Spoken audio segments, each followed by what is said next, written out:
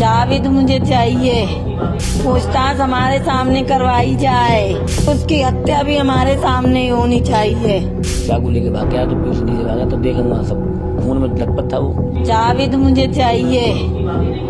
हमारे सामने चाहिए। पूछताछ हमारे सामने करवाई जाए।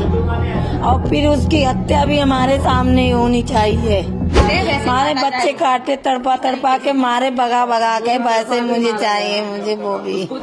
मुझे नहीं, हमारे बच्चे हमने पैदा किए हमसे पूछो, हमने बड़े ऑपरेशन से तीन बच्चे किए, हमारा पेट दर्द कर मैं दर्द भूल गई बच्चों के पीछे।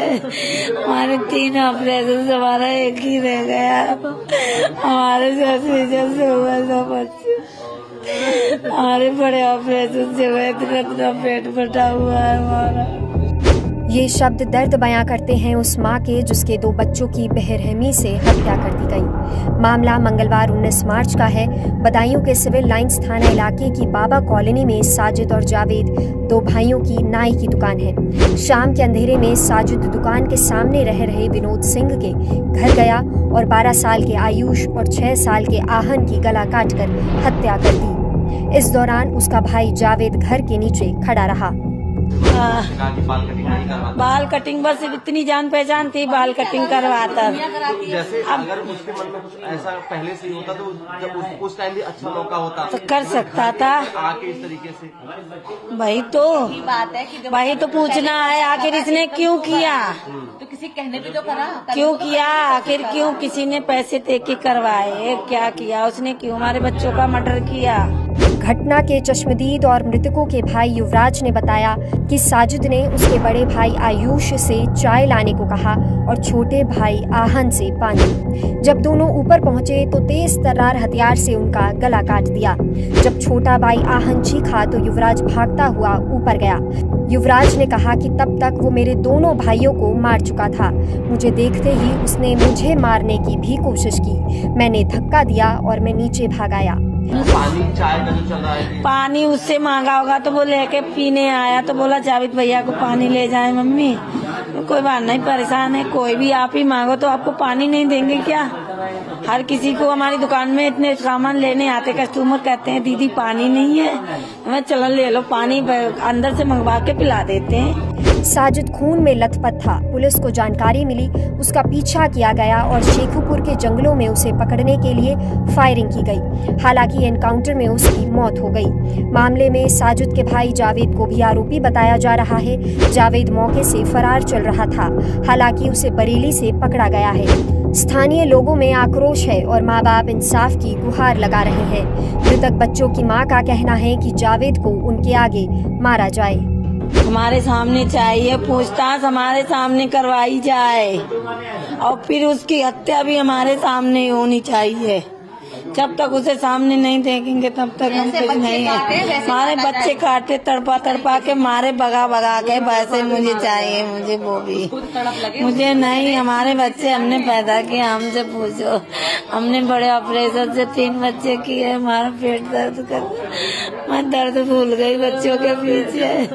हमारे तीन ऑपरेशन से हमारा एक ही रह गया। हमारे जैसे जैसे हुआ सब बच्चे।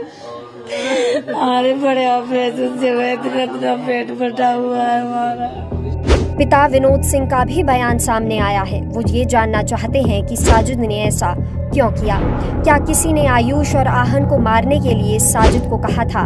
वो ये चाहते हैं कि जावेद से पूरी पूछताछ की जाए। फ़िलहाल जो है और हम यही कोशिश करेंगे कि वो पकड़ा जाए।